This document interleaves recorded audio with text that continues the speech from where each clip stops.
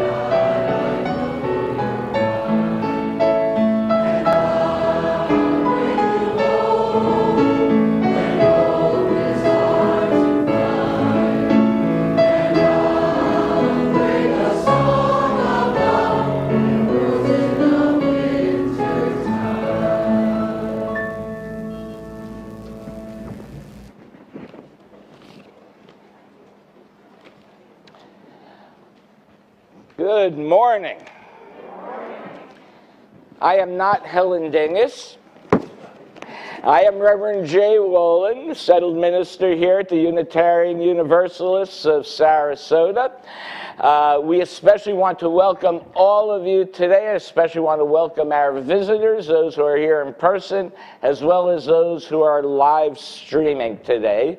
Uh, we invite all of our visitors to participate in any of the events that we have here. And um, if you want, we encourage you to sign up in either our virtual guest book, which you can find at uusrq.org, or at the table right outside the sanctuary. And if you do sign up, you will get a weekly email of all the uh, events that are happening in our newsletter, as well as some uh, emails with Zoom links for our online events. Um, if you're here in person, uh, also do not forget that um, after the service we will have, I think, t- is today a second potluck? Okay, eh, we're going to have a potluck, so there will be food and we can eat together, break bread, and get to know each other.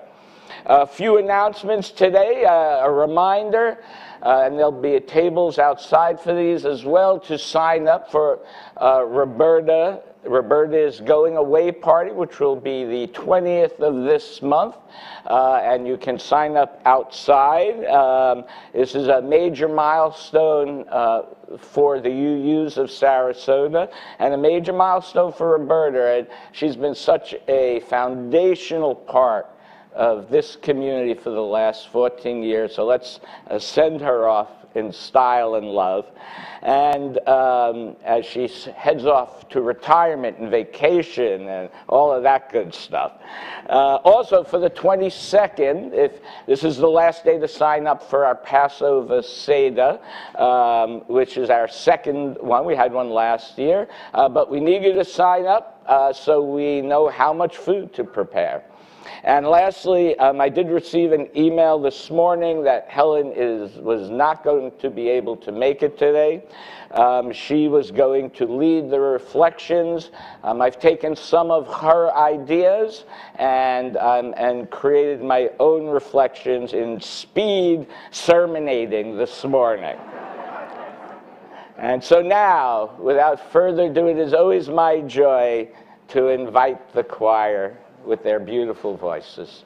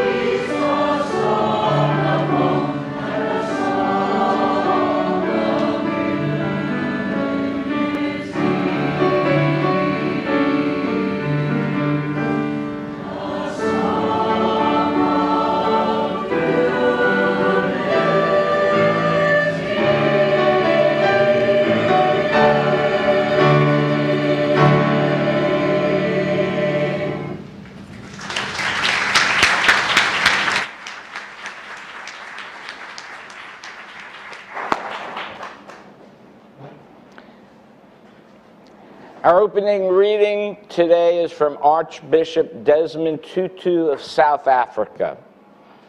We have something in our African community, something that is very difficult to put into English. It is called Ubuntu. Ubuntu is the essence of being human. And it says a solitary human being is a contradiction in terms. I can't be a human being on my lonesome.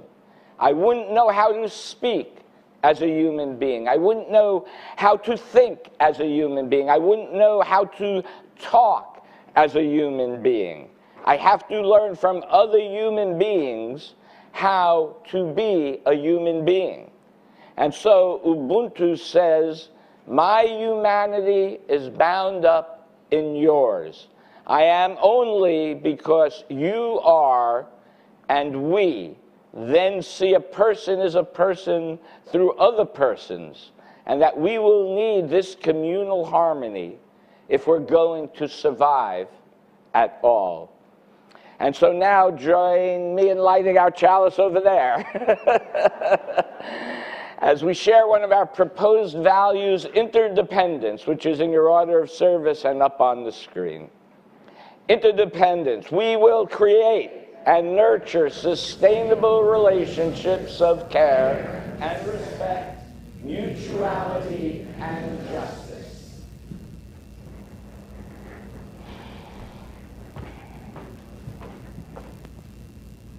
Good morning.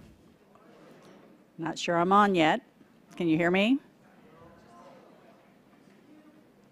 Hello? Hello? Can you hear me now? No. waiting on the sound. There I am. it was a little confusing having the chalice over there. I, sat, I was sitting and I was like, where's the chalice? Oh my gosh, I moved it. It's so good to see you all here today. So today's story is The Lonely Mailman by Susanna Isern and illustrated by Daniel Montero Galan. Every morning, just as the sun is rising, the old mail mailman leaves his house with a bag full of letters. He climbs onto his bicycle and he sets off on his way. The mailman goes to each door, rings the bell, and only says four words Squirrel, letter for you. And he whispers, Hedgehog, letter for you. Dear Squirrel, Sorry about pricking you yesterday when I bumped into you at the market. To make up for it, come over for dinner at 8 and don't be late. Hedgehog. Dear Hedgehog, I know you pricked me yesterday, but don't worry. I know you didn't mean to. If you invite me for dinner, we can have a chat. I'll be there at 8. See you then, Squirrel. Sometimes the animals that live in the forest would offer him a cup of coffee, but the mailman always smiles and says, No, thank you, and rides off in a cloud of dust. Dormouse, letter for you. He never gets off his bicycle. Woodpecker, letter for you. Dear Woodpecker, the tree where you have started to peck is next to my nest, and I now can hardly sleep. Couldn't you move to another tree? Dormouse. Sorry, Dormouse, I only realized yesterday that I'm tapping away next to your nest. I know how much you like to rest, so I am off to find another tree to peck. Woodpecker. So the animals see him cycling through the forest every day, but they hardly know him. Butterfly, letter for you. In fact, nobody knows anything about the mailman at all. Turtle, letter for you. Beautiful butterflies, there's plenty of room on my shell where you can sunbathe in peace and quiet. And if it starts to rain, you can all come inside for a cup of tea. Turtle.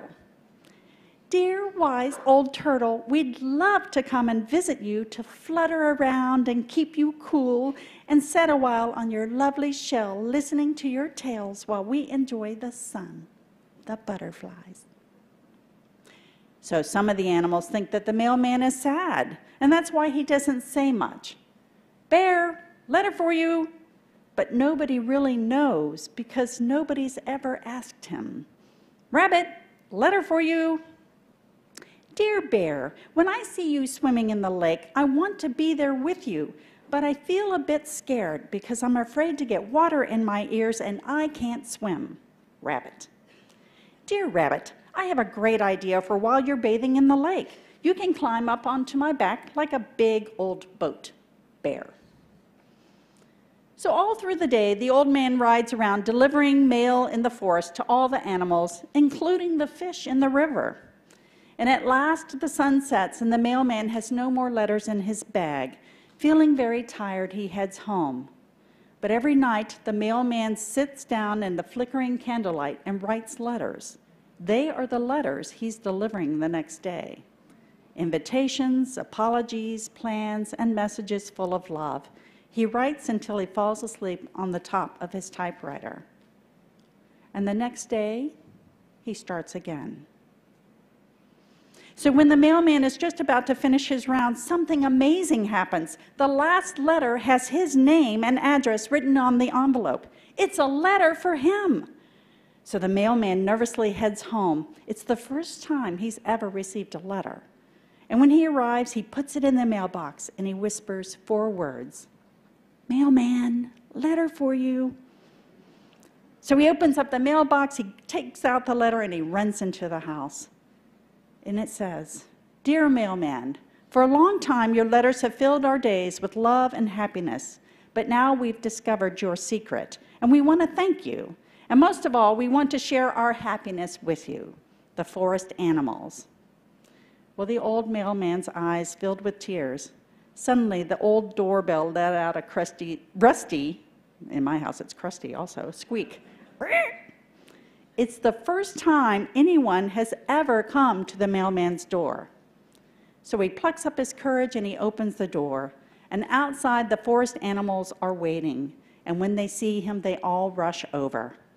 And the old mailman smiles and blushes amongst all the cheers and hugs. And then he begins to think about all the letters he'll be writing tonight. So, how many of you have seen people as you go about your daily life without actually seeing them? In the grocery line, as you walk the dog, or even in our courtyard during the coffee hour. Some are helping us like the mailman, and some are just there. Yet humans are hardwired to be in community with each other, and deep inside, we have this need to belong, to be seen, to be acknowledged, and to be loved. So some people are too shy or uncomfortable in being social like the mailman, but they still want to belong. Have you ever said to yourself, well, I tried to be friendly, but they didn't want to be? So we assume the unfriendlies are antisocial or something's wrong with them or, or they're, maybe they're just having a bad hair day. But nobody really knows for sure because no one has asked them. So I challenge you to find someone in our courtyard today that is not in conversation and let them know that they are seen, acknowledged, and belong. It might just be your next best friend. So now I invite our children to join me in the West Wing and the youth in the team room as we explore the web of community. Thank you.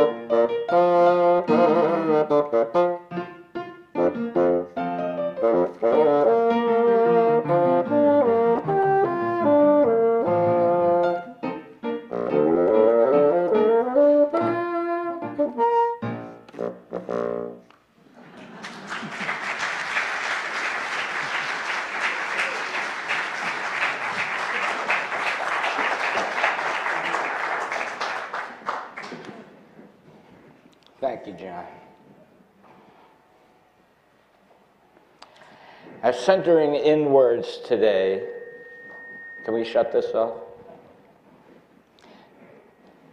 As centering In Words today from Marina Keegan, an excerpt and adaptation of the writing The Opposite of Loneliness.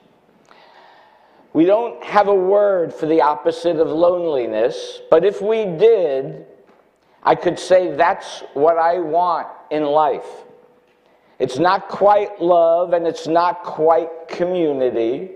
It's just this feeling that there are people, an abundance of people, who are in this together, who are on your team. Our groups make us feel loved and safe and part of something something, even on our loneliest nights when we stumble home. We don't have a word for the opposite of loneliness, but if we did, I'd say that's how I feel here. How I feel right now here with all of you. In love, impressed, humbled, scared, and we don't have to lose that. We're in this together. And so now, as we go into a time of silence, I invite you to contemplate what you feel in love with, impressed, humbled, and scared when you feel lonely and what abates your loneliness.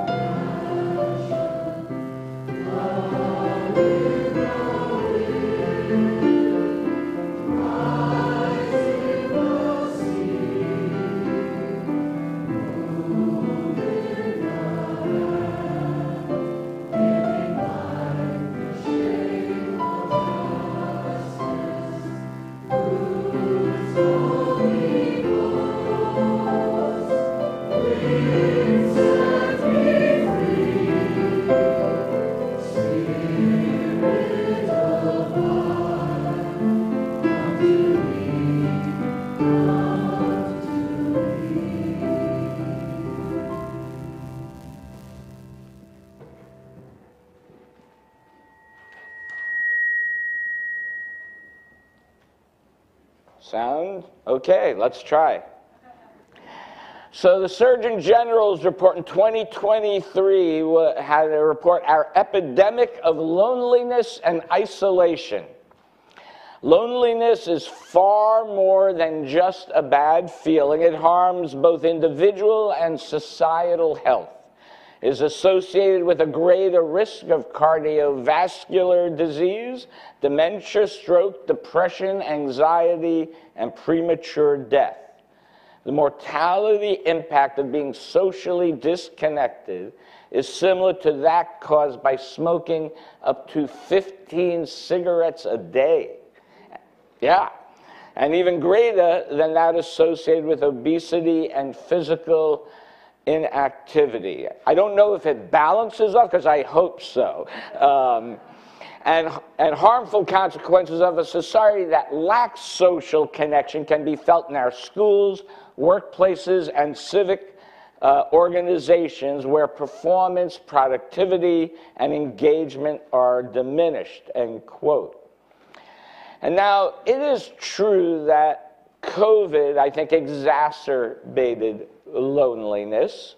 And, um, but, but this phenomenon has been increasing for decades. I remember a book um, back, I think it was the year 2000, entitled Bowling Alone by uh, Robert Putnam, where he talked about um, how all these social norms were being dropped, like bowling, that those type of events that would bring people together. And, um, and certainly, I think social media um, has had an impact um, on this. However, you know, it's a double-edged sword. I, I do, I'm able to keep in touch with people that I hadn't seen for years, and I can uh, follow their life. And if I am traveling to a city, I can just put on Facebook um, anybody in the city that I'm going to and meet up with. And um, so there, there are, but it also, there's not that intimate connection when you have when you're just communicating on social media. Uh, Helen brought up uh, in her thoughts a very interesting theory of something called third places. Our first place is our home, our second place is our work, and third places are spaces where people could be in public with others and mingle and gather without invitation. So think about parks, bars, coffee shops, libraries, malls. Uh, when my children were young, malls was a very, very popular place, and they would all go and meet up with people there. But, um, you know, I don't know that I personally go into a coffee shop with the expectation of meeting up, you know, and talking with people I do not know. Um, but all of these have been Third, places where people could be in public with others, you know, and just and and so you know, and so you're not alone necessarily. Now, you know, I will say that some of my friends growing up, I grew up in a very Catholic neighborhood, and they had seven or eight brothers or sisters, uh, and so they were never alone.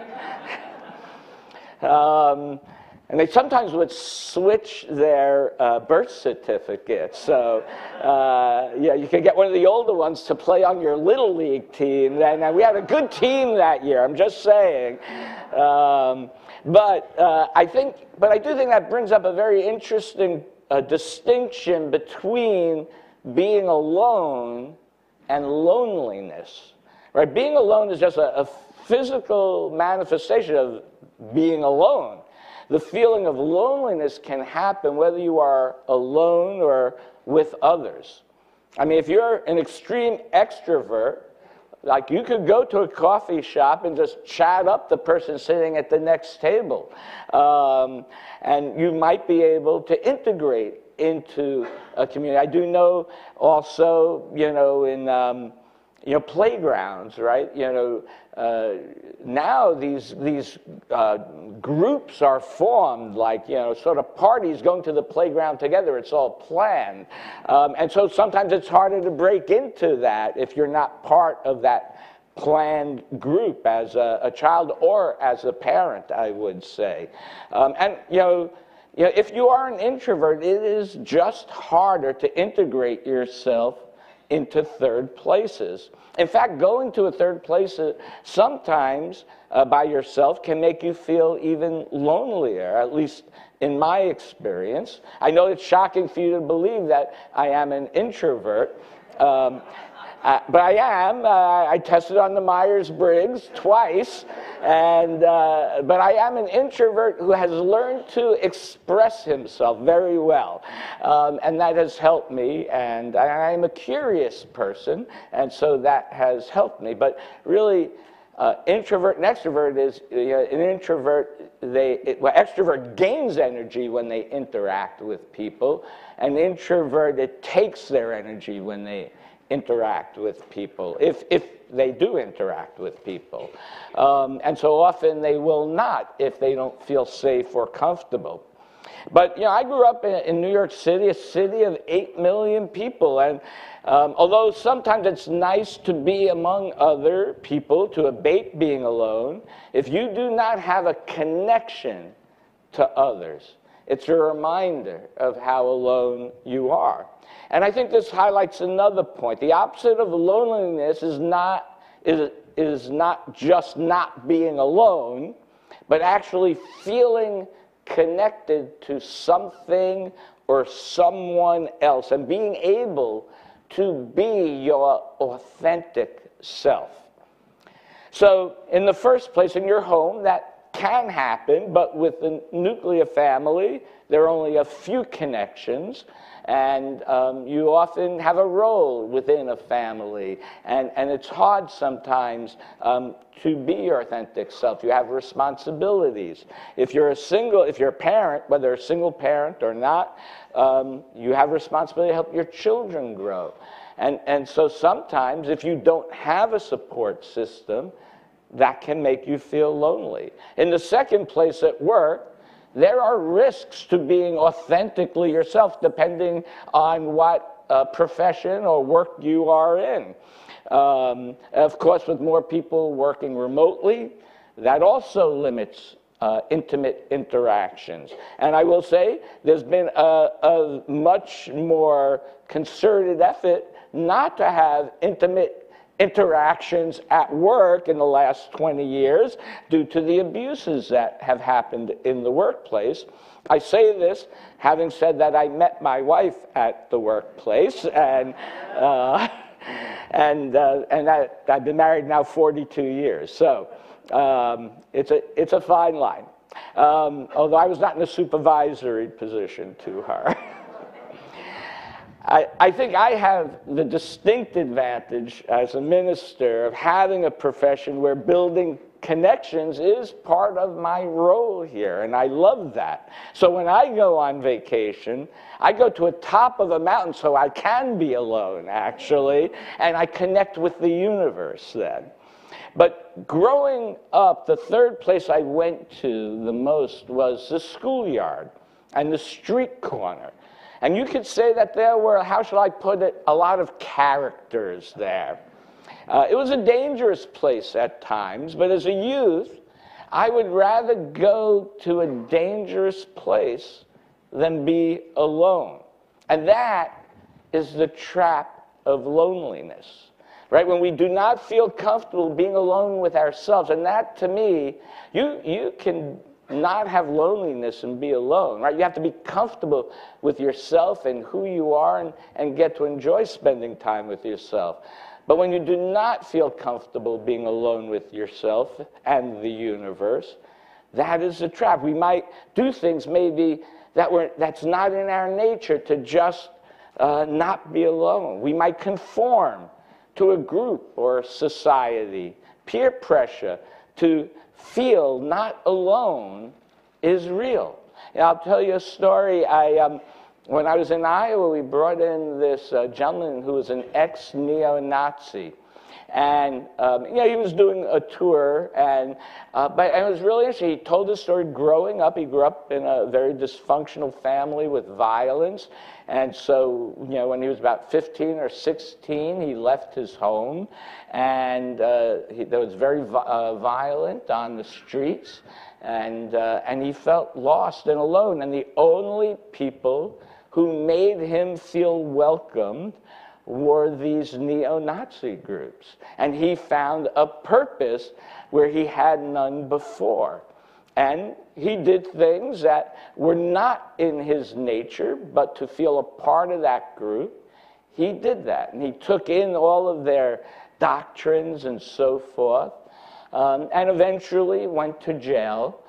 And I asked him, what was it that uh, made him leave you know, get out of that life because it could have been very easy to slip right back into it. And he said, when I had nothing and I was looking for a job, uh, this Jewish businessman, even though seeing a swastika on my chest, gave me a job. He was the only person who would give me a job. And it goes to show how compassion and kindness can change people, just talking to each other, getting to know each other. We had a Palestinian uh, from the West Bank and a, a, Jewish rabbi from the West Bank. And they have come together, they start talking about their experiences, and they learn about each other. And literally, the thing that surprised me the most was that before they had gotten together, they, they had very little interaction with the other group. And, and now they are building something that they hope will one day lead to peace. But the story about the, um, the, the Nazi or the ex Nazi was that he, he felt connected to this group, but it was not his authentic self. Now, I've been lucky in my life. I have had friends since childhood who accepted me with all my, how shall I say, quirkiness. And no matter what I did, whether I conformed or there were times when I would not conform, and I found out in those moments who my true friends were, especially when I did not conform. And they are still today my best friends. They protected me in the schoolyard, and we will still to this day I should say we protected each other. And to this day, we are still there for each other whenever we are called upon.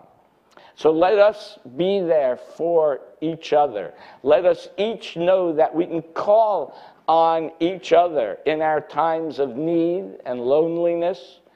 And so it is with this thought in mind that I call on you now to be as generous as possible as we take our offering, as we help the programs of the UUs of Sarasota. For those online or here on your cell phone, uh, there's a link to donate in the description of the YouTube uh, video and as well the QR code that's in your order of service. Let this sacred time begin.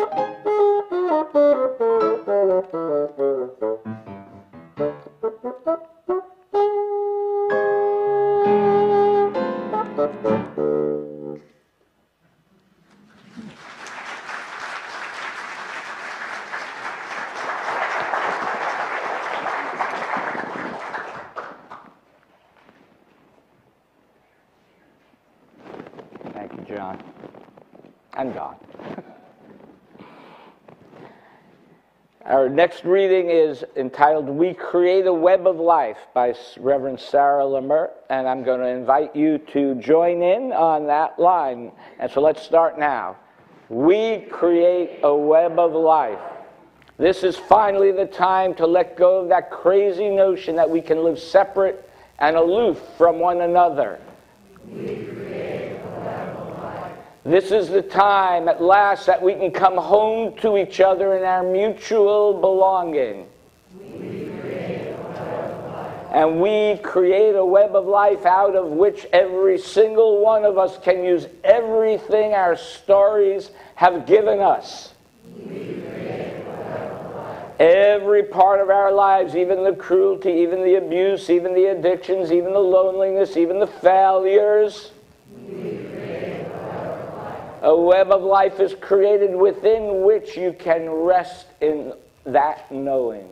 Because out of that you can act. Out of that, all your power is yours. Out of that, you travel light. Out of that, you can step forward. Let every encounter be a homecoming as we step forward now for the healing of our world. The world is not going to be saved by good people or noble people. The world is going to be healed by ordinary people like you, like me, who are not afraid of pain and who are not afraid of loving each other. May it be so.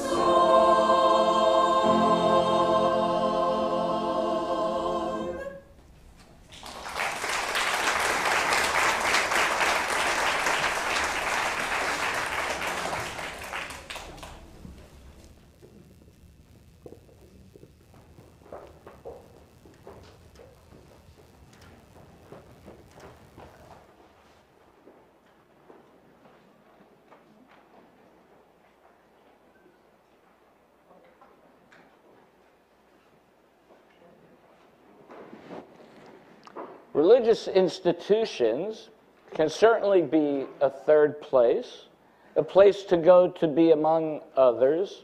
And that in and of itself is, I want to again point out, if that's all it is, it's a limitation. Just being with others does not end loneliness. We have to allow people, all people, to be fully who they are.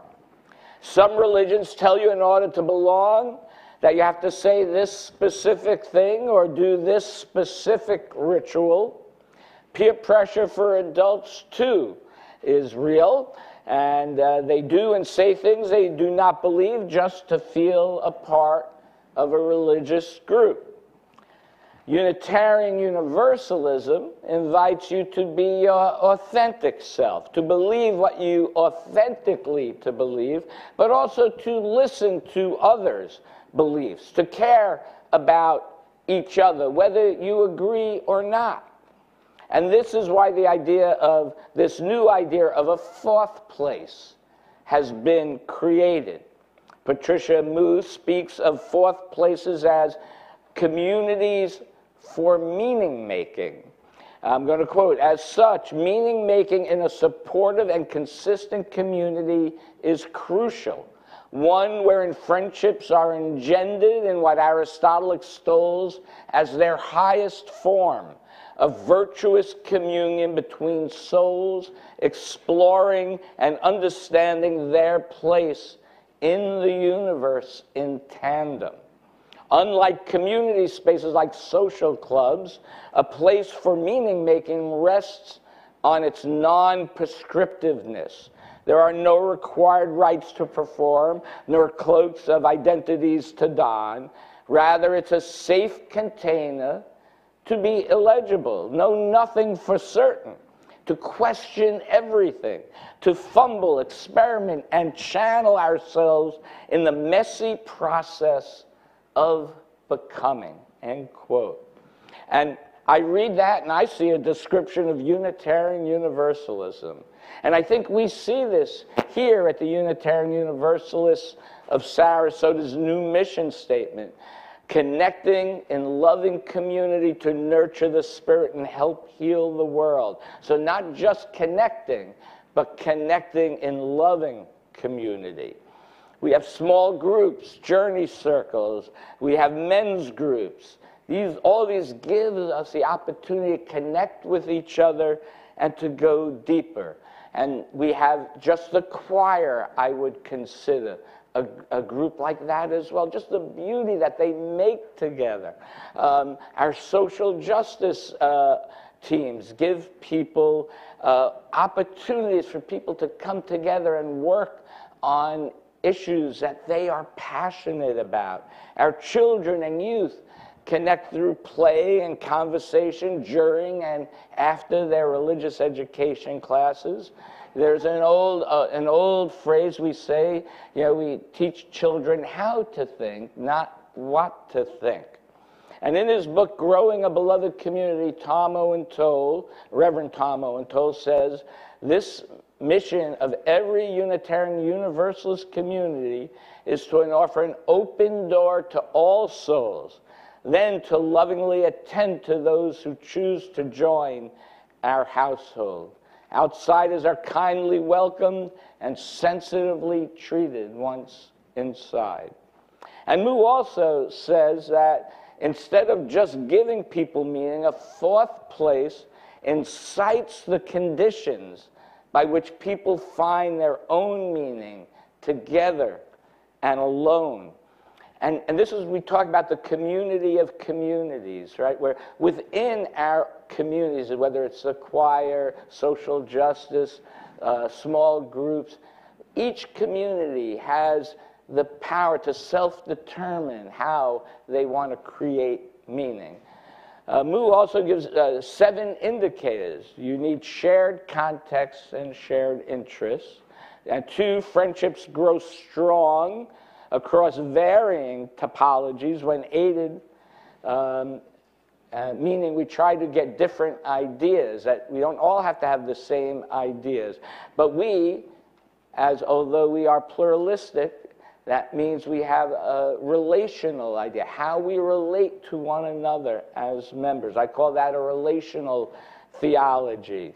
Um, as well, it provides a low stakes way to try on a new way of being and spaces that allow for all or part of ourselves to feel more human, provide bonding and bridging mechanisms, and creating high density of not only people but ideas and energy.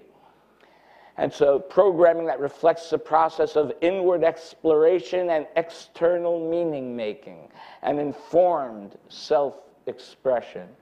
So, it's about expressing, listening, sharing, creating values together, and then living those values out in the world. In the book, and, you know, and, and what this is about, you know, I talked about, you know, these boundaries, this conformity, but it's about being able to break through and transcend sort of this conditioning that we have. And I, I was thinking about this in the book uh, and movie, Cloud Atlas. The character, Sonmi 451, states, and I quote, I understand now that boundaries between noise and sound are conventions. All boundaries are conventions waiting to be transcended. One may transcend any convention if only one can first conceive of doing so. End quote. We're often so blinded into conforming to expectations so as to not be ostracized that we do not even think the impossible is possible, that we do not even, that we settle for where we are is good enough. But it is not good enough. If we believe we are part of the interdependent web of existence, then we are accountable to each other and we are accountable to all who are suffering. And that is who we, as Unitarian Universalists, are. There was a time in this country when conventional wisdom said it was acceptable to own another human being. And Unitarian Universalists worked to break that boundary. There was a time in this country when conventional wisdom said women couldn't vote, and it was Unitarian Universalists who worked to break that boundary. There was a time not too long ago in this country that conventional wisdom said same gender couples could not marry, and it was Unitarian Universalists who broke that boundary. We do not want anyone, anyone to be alone. And we know we can impact the world with our values because we have already done so.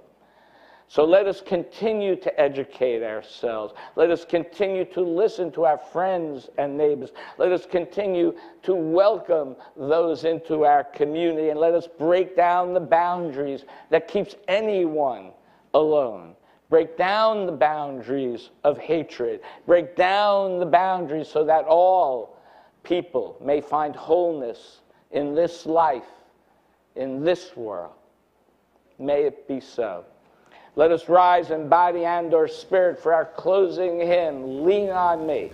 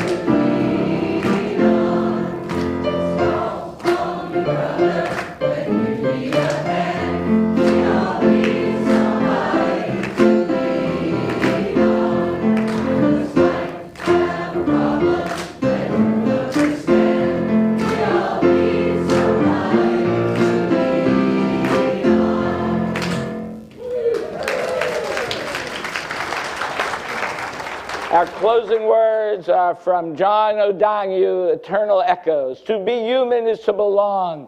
Belonging is a circle that embraces everything. If we reject it, we damage our nature. The word belonging holds together two fundamental aspects of life being and longing, the longing of our being and the being of our longing. Let us please now join me in extinguishing our chalice.